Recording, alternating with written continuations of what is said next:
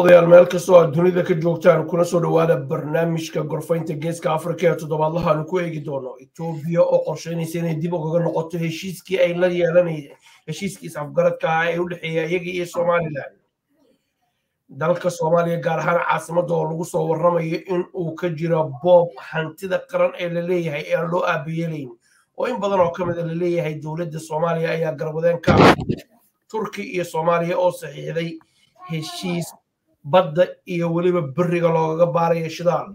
Etoobiya oo dagaalkeedii civil warka ahaa uu dib u soo laba kacleeyey qodobadaas iyo kuwo kale ayaanu barnaamijkeena ku eegi doonaa. Ambasador maxamed calim ayaa qodobada noo soo xuraabiyey oo aan jeclahay inaan wax ka weydiiyo. Waa sideedda bisha saddexaad labada kun iyo afar iyo labaatanka. Waa burid t v. Waa idin soo dhoweynaynaa meel kastoo dunida ka joogtaan. Ambasador waa ku soo dhoweynayaa si gobonimada marka hore. Marka labaad waxaanu akhrinay barnaamijyadii dhowaan baxay. Qaar ka mid a fikirka dadku ay ka dhiibteen waxaa lagu arkaa nin madaxweynaha xasan sheekh maxamuud lid ku ah oo si gaara u bartilmaameedsanaya oo aan xaqiisa siinaynin. Soo dhowow mukol walaalkay cabdi xaafid adiga iyo tiimkaaga british somali t v iyo daawadayaasheenna barnaamijka geeska afka waa salaaman yihiin waxaan rajeynaya insha allah maanta jimcay ahayd waana jimcii ugu dambeeyey bisha bacaan ilaahay inuu rabadaanka wiilka soo socda nabad nagu gaarsiiyo caafimaad. Dadkana daawanaya waa laga yaabaa marka wax la falanqaynayo inay u arkaan marka xaqiiqda laga hadlayo inaan isla ogaano waayo oo aan ogaano in dadka soomaaliyeed ama somali republic inuu dagaal sokeeye uu dhex maray oo bulshadii ay dagaalantay. Muddo hadda dhowr iyo soddon sano laga joogana dagaalkaas uu socdo isagoo noocyo badan isugu ahaa mid abaareed mid mataqaana hogaami kooxeed mid diimeed mid qabyaaladeed mid nooc kasta ahaa. Marka madaxdii la doortay ilaa xilligaas waa ku guulaysan kari la'yihiin in dadkii soomaaliyed heshiis dhex dhigaan in hantidooda loo badbaadiyo in mataqaana damiirkooda loo badbaadiyo in dalkooda loo badbaadiyo marka markaan dib anu u fiirsho haddaan hadda jubbaland tago waxaan leeyahay ninka xukumaa muxuu yahay? Muxuu qaabkee wey ninka inta haystaa. Haddaan tago baydhabo leeyahay ninka xukumaa muxuu yahay qaabkee because wax isbedela kama so markaan tago meesha la yidhaahdo galmudug waa la mid puntland waa la mid somaliland waa la mid muqdisho waa la mid marka gaar ahaan filisol waxaan ku culaysanaya filistan waxa weeye braankii soomaaliyeed bay haystaan hay'adihii ay haystaan safaaradii bay haystaan deeqdii caalamkay haystaan fursadii caalamkay haystaan marka haddii madaxweynihii mar kastoo filis hadduu koox yahay hadda koox shalay koox baan ka tagnay mataqaanaa nabadi nool la yidhahdo hadda koox waxaan damjadiid u yaqaanaan saxaafadda iyo dadka bulshada. Marka madaxweyne xasan waxaa la kala garan la'ayay xaaskiisii gabadhiisii saaxiibkiisii wasiirad ilaa waxa la kala gadaya ilaa xukuumaddiisa u korsooneen oo reer wasaarihiisii uu magacaawday iyo golihii wasiirada aanay shaqaynayn marka dadka komitee soo qoraya waa dad ilaa hadda aaminsan in dagaalka sokeyo lagu jiro qofka soomaaliga waa inuu ka bislaadaa. Hadduu walaalkii qaldan yahay waa inuu sheegi karo war waxaan wax noo socdo ma ah dadka soomaaliyeed ilaa hadda nin dhibaatada ka saara ama heer degmo ha noqdo ama heer maamulgoo ha noqdo anuu koley kafalanqeyn ahaan waan akhriyey maxaa dhacay dhe dadka soomaaliyeed meel ay shalay taagnaayeen maanta ay soo gaareen ay ka fiican yihiin ama xagga gaajada ha noqoto ama xagga caafimaad ha noqoto ma arkin. Marka saasaan aaminsanaya kolley muxuu ahaa waxaana leeyahay mahadsantihiin raayadaha soo qoraan aad iyo aad u mahadsantahay haddii aanu qodobadeenna aynu ku soconno haddaba barnaamijkeena airboorkii caasimadda qaranka soomaaliya muqdisho waa la socotaa maalmihii la soo dhaafay wax ka dhacay ilaa iyo haatan ma jirto cid mas'uuliyaddaas qaaday ama xilkeedii ku weyday ama baaritaan baa socdaana la yiri waa taqaanaa baaritaanada soomaaliya ka socda intooda badan mahana qaadaan guddi baa loo saarayaa baa la yidhaahdaa. Maalmo kadibna halkaasaa lagu iloobayo inta badan waxay siyaasiyiinta rajeynayaan baa leeyahay in markaas xiisaddu ay degto dabadeedna laga socdo cidnana aan lala xisaabtamin.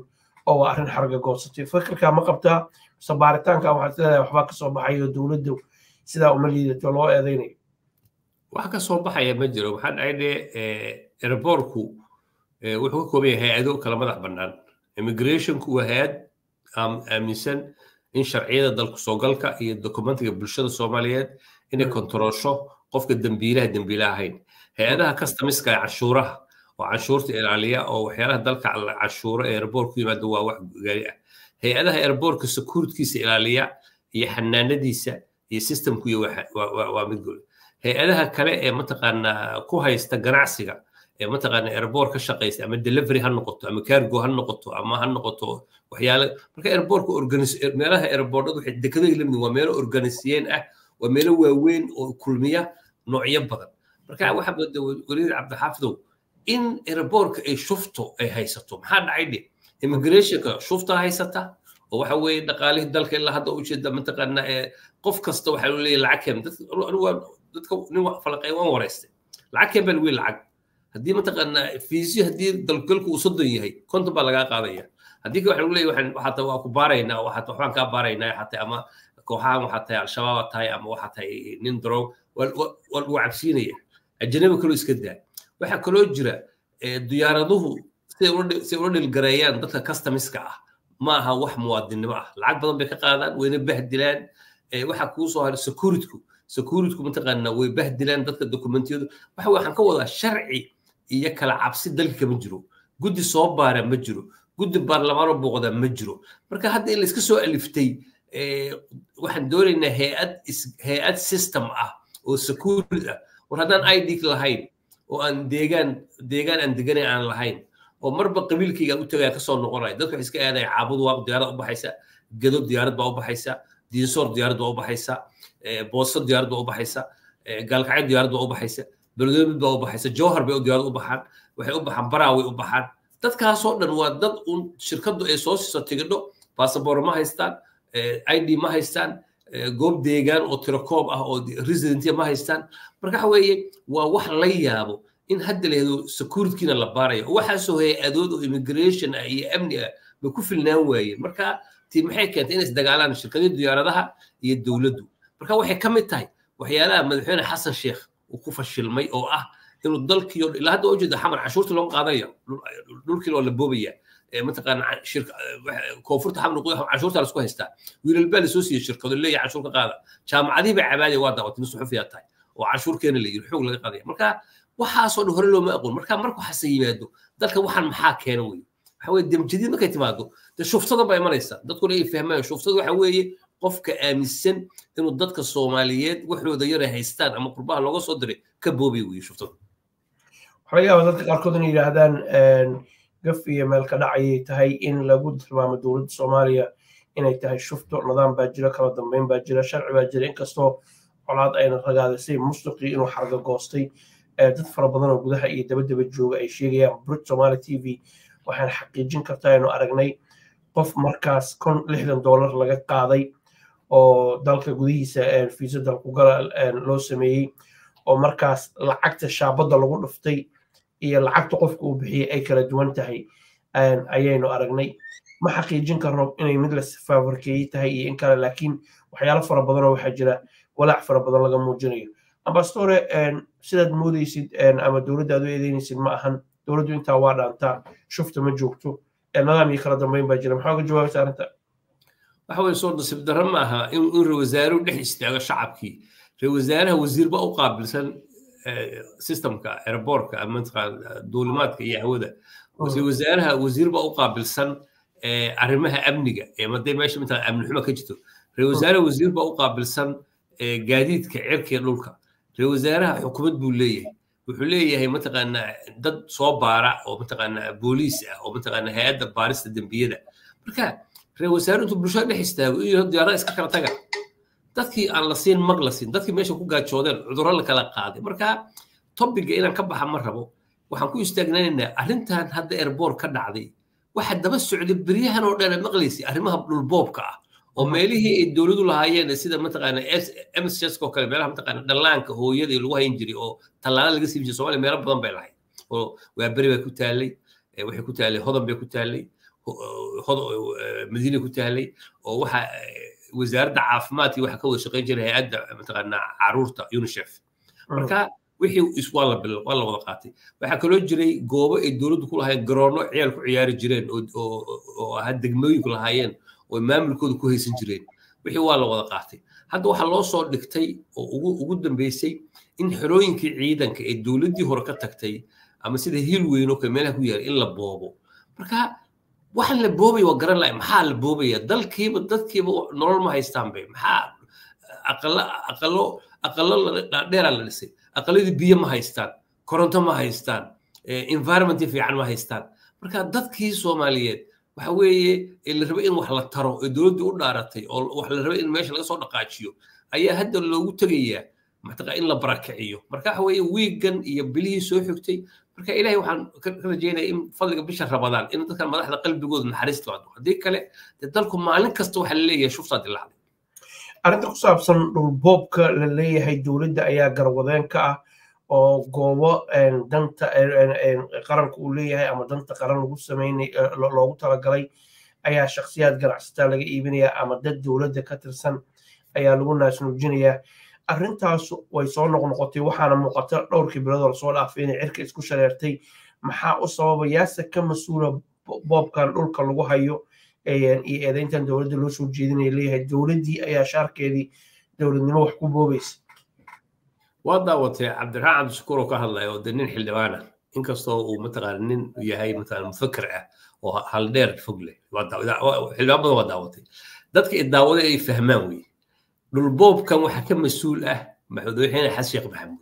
Maxaa dhacay madaxweyne xasan sheekh maxamuud waxaan ku naqaanay muddada hadda labada sano ee ku dhow ee hadda uu xilka hayay inuu doomeelo badan kaga hadlay waxyaalo badan oo dagaalka al-shabaab la xiriira musuqmaasuqa la xiriira xiriirka caalamka la xiriira arrimaha dastuurka la xiriira. Wuu u jeeda dhulkan dhowe weligii maalin kamuusan hadlin. Hal maalin meel fagaara ah haddaad ii keentid aniga madaxweynaha been baa ka sheegaya maxaa dhacay de wuxuu og yahay inuu isagu uu siiyey go head oo uu mataqaana yuusuf madaale iyo raggiisa siiyey in dadka la barakiciyo oo hay'adaha wakaaladii howlaha gudmeesha deganeed dadamiska xerooyinka ciidanka. Markaa aniga kafalanqeynahaan markaan baaray oo dad aan baaray oo dad la soo sheekaystay waxaan ogaaday inuu madaxweynuhu iyo saaxiibadii iyo ganacsatadiisu ay doonayaan inay lacag ka sameeyaan. Marka madaxweynuhu marna arrintaas ma dhihin hala joojiyo. Mar ma dhihin guddi hol madaxweyne wax kasta uu ka hadlaa. Wax arrimaha kadhow ka hadlaa. Arrimaha dhulka iyo problemka maamulka gobolka banaadir yaalla maxaa gobolka banaadir maamul loogu sameyn la'yahay? Maxaa mataqaana mataqaana gobolka banaadir mataqaana dadkooda mataqaana system dowladnimo loogu diyaarin la'yahay? Madaxweyne marna kama hadlin. Waxa waaye waana dhibaatada soomaaliya taalo ah. Haddaan xal loo heli caasimadda muqdisho way adkaanaysaa in wax laga qabto shabeellada hoose shabeellada dhexe gobolka hiiraan system kastoo wadahadal soomaaliya somaliland waa adkaanaysa maxaa dhacay dhe mar kasta madaxaba imanaysa waana koox waana kooxdaa boobaysa marka kooxdii horena waxbay boobtay cumar finish iyo farmaajona wax badanay boobeen oo dadku yaan u haraysa in ahaayeen niman joogo kuwii ka sii horena way boobeen oo mataqa tarsan iyo gruubkiisii xasanna markuu joogay aan ka hadlay haddana hawsha meeshuu ka sii wadaa aad iyo aad ugu mahad celinayaa dabcan in madaxweynuhu uu amray madaale somaali t v ma xaqiijin karto. Laakiin waxaan jecelnahay inaan wax ka ogaano boobka dhulka ka jira ee aan loo kala aabayeelaynin ee dowladdan haatan jirta iyo tii ka horreysayba lagu eedeynayo gaar ahaan dhowrkii biloodoo soo dhaafay dowladdan hadda joogta.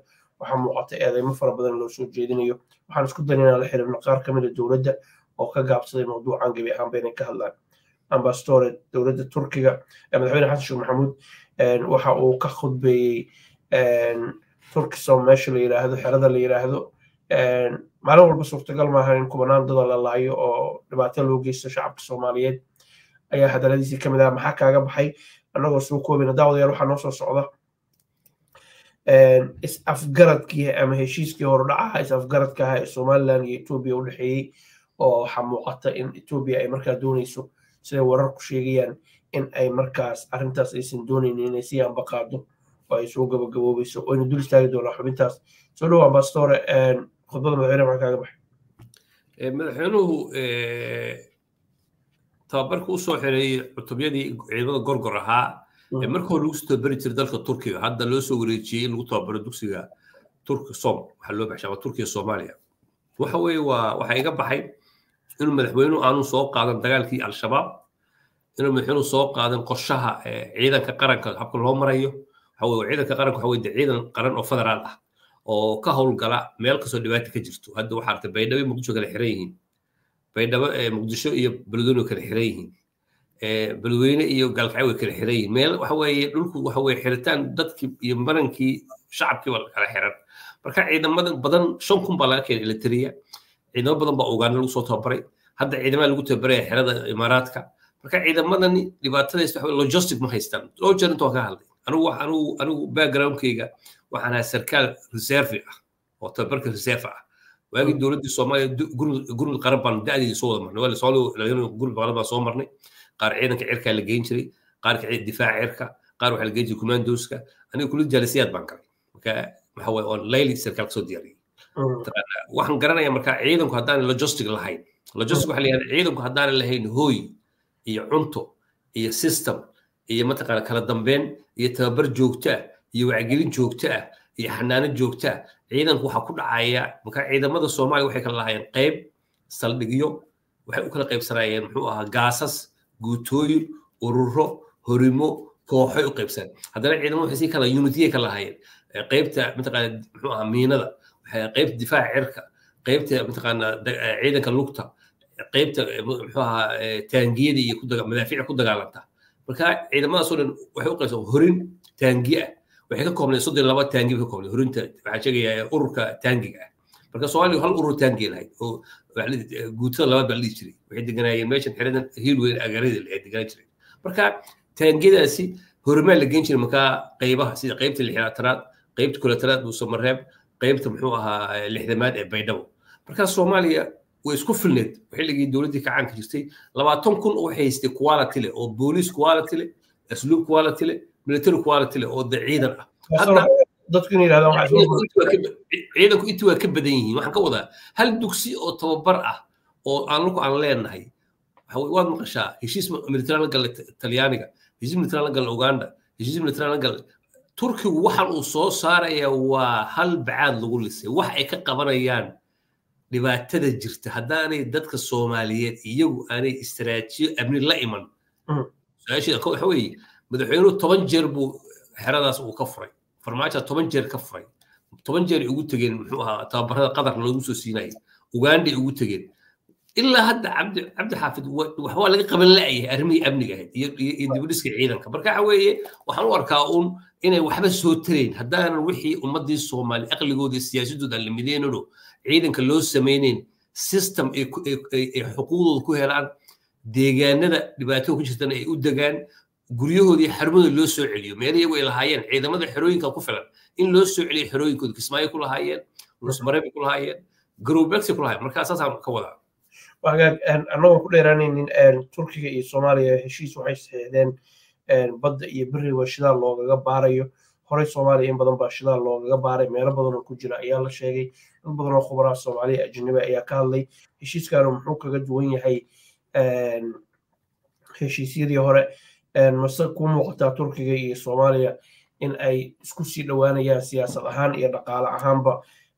Annagoo qadarinayna qodobka noo soo socda ee ku saabsan soomaaliya biyaheeda inay turkigu ay difaacayaan oo heshiis ay saxiixdeen. Waxaweye heshiiska midbaa ka horreeya wiigii hore ahaa khayraad iyo isugu jira iyo security. In mataqaana oo madaxweyne dhowr jeerna markuu hadda shirkiga ka qayb galay alania dubnas foreign saxaafad badan saxaafaddu uu sii faahfaahiyey saxaafadda turkiga la hadlay. Marka aniga waxaan fiirinayaa sooyaalka siyaasadeed ee xilliyadii soomaaliya ay jirtay heshiisyada gashay ee la gashay ruushka heshiisyada la galay maraykanka iyo hadda hadda soomaaliya ma geli karto heshiis khayraad maxaa dhahay heshiisyo badan baa ka horreeyey oo dowladii hore galeen oo maraykanka la galeen oo shirkada la galeen oo ay lacag uga qaateen marka waxa weeye turkiguna nato ka tirsan yahay turkiguna waxa weeye waa dowlad sharciga caalamiga ilaalinaya marka hadda waxaa jira u malayn maayo inay wax badan ka soo kordhinayso heshiisyadaas hadda shidaal uu turkigu soo saari karaa ma jirto maxaa dhacay dhe wariyaha wasiirka wasiir dowlaha arrimaha dibadda wuxuu yiri shirkad baanu siinay toddoba block blocks waa taqaana blocks waa dhul. Had waxaan kaloo haynaa yiri afar boqol lixdan block baan haynaa. Afar boqol lixdan block ayaan hadda la gelaynaa. Marka turkigu haddaanay dadka soomaali dastuur lagu wada heshiis yahay deganaansho siyaasadeed la helin. Mushkilad kale noqonaysaa maxay dhacay? Hadda wixii yaraay la soo helay ayaa hadda qoysas iyo reero u gacan galay oo uu ka mid yahay tiimka madaxweynaha saaxiibadii. Hadday shirkadahan u gacan galaan turkiga oo magaca turkiga lagu shaqaysto oo hadda shirkadda turkiga ee xamar dekeda ka shaqaysa dad baa gacanta ku haysta oo waxay soo saarta cuna. Hawadii soomaaliya qof baa haysto cuna. Eraboorka shirkad baa joogto waxay soo cuna. Marka cisbaalka digfeer dad baa cuna. Canshuurda gobolka banaadir dad baa cuna. Marka haddee waxaan lagu sii socdo lacagahaasoo dhan dowladdu waxay leedahay waxay ku shumaan. Dowladda ayay u soo xaroodaan qof tagrifalaa ma jiro maxaan caddaynoo waxaad haysaa dowladdu soomaaliya hadday hadday meeshu leedahay waxa la dhisi lahaa guddiga hantida qaranka waxaa la dhisi lahaa guddiga la dagaalanka musuqmaasuqa qaranka. Waxba lama dhisan guddiga tartanka. Marka waxa weeye nin wariyaa tahay wax badan baad og tahay waxa weeye baahida iyo dhaqaalo ilaa hadda waxaan leenahay hadda aan imaaraadka weydiisanaynaa kab inuu dhaqaalo naga kabo. Waxaan weydiisanaynaa ingiriiska inuu kab dhaqaalo naga kabo isku filnaan ma haysano marka lacagta ugu badan ee dowladdu ku shaqaysa waa lacagta beesha caalamku siiso oo lagu kabo. Wax canshuur ka soo xara waa wax yar. Intaasa ciidamada la siiya. Ee dhaqaalo badan ayaa shaksiyad u gacan gala. Ilaa qaadka xabarka soo dega kiilo kiilo ayaa lacag looga faa'iidaa oo kiiladii lix doolar la saarta. Marka waxaan u sheegaa ummadda daawanaysa in dalka soomaaliya waxaan ka hadlaya ma aha xamar. Hargeystay shufta haysataa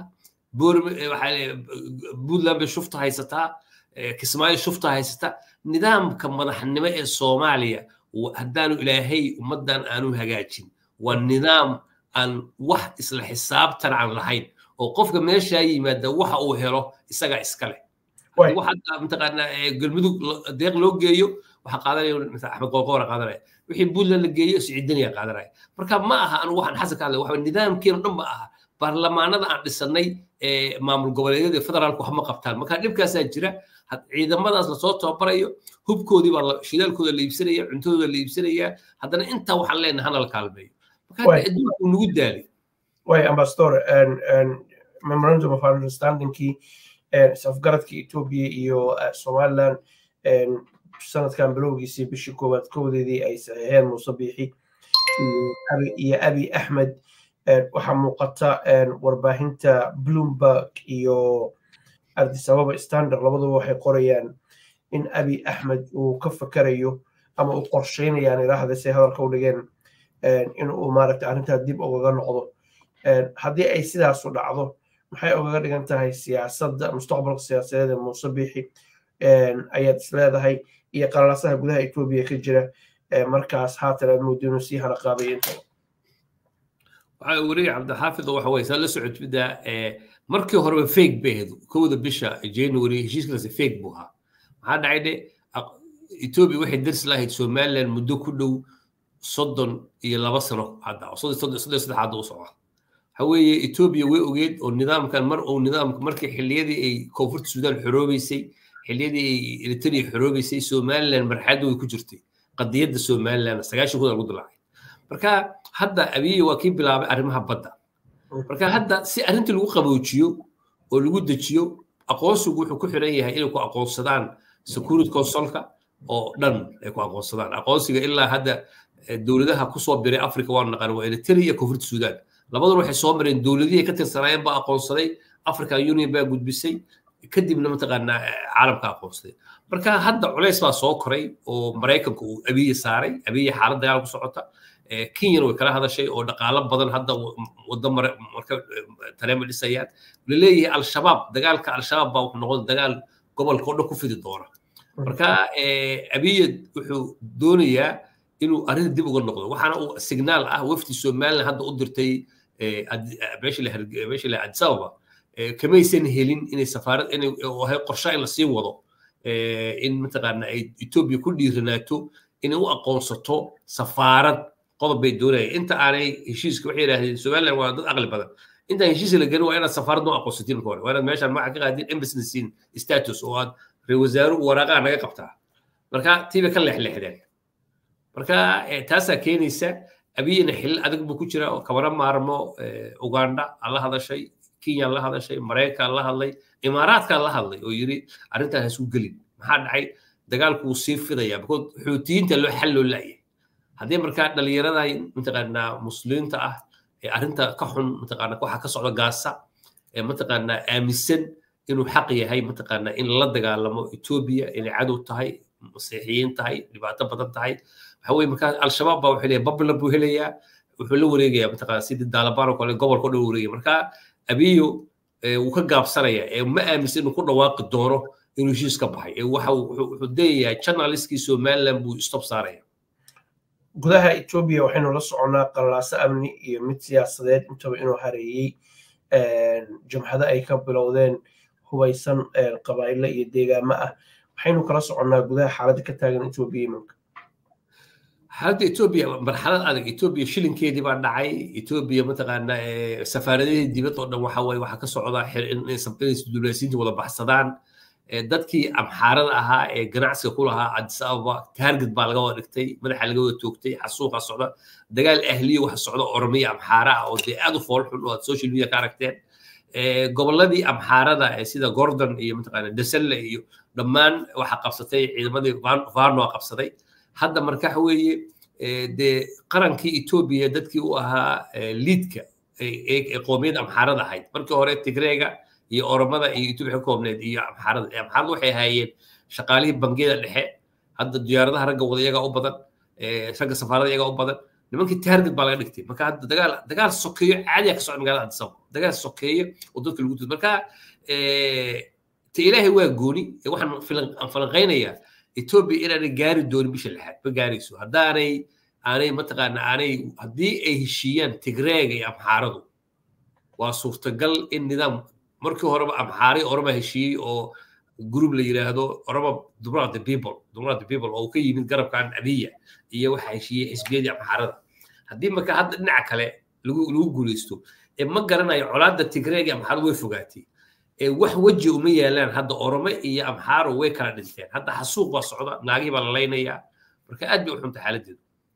Ku soo dhowow xarunta caafimaadka ee private walk in clinic oo ah xarun caafimaad oo aad u qalabaysan tayada adeegeeduna uu sarreeyo. Private walk in clinic waxay caan ku tahay ballanta dhakhtarka oo aad helayso isla maalinta aad qabsatid. Sidoo kale private walk in clinic waxay bixisaa membershiib sannadla ah oo kuu sahlaya inaad marka aad doonto dhakhtar la kulmi karto. Xarunta caafimaadka ee private walk in clinic waxay macaamiisheeda ugu bishaaraynaysaa in adeegyadii ay horay u bixin jirtay ku soo kordhisay adeegyo cusub. Xarunta adigoo gurigaaga jooga ayay kuu soo diraysaa raajayaqaan ama dhigiqaade si laguugu shaqeeyo adigoo gurigaaga jooga.